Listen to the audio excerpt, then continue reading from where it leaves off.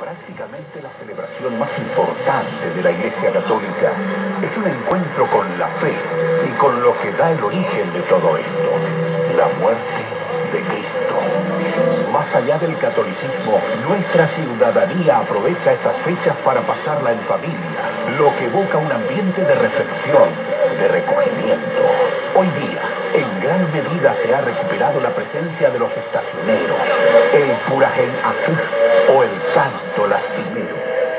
y de la misma forma la presencia de los jóvenes en las distintas actividades que desarrolla la Iglesia Católica para darle el marco adecuado a la evocación del gran momento.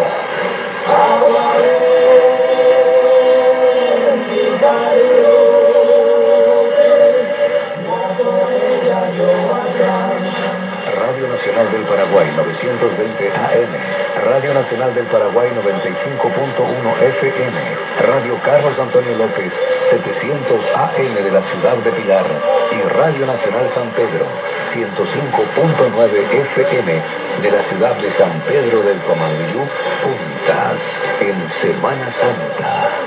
Tiempo de reflexión.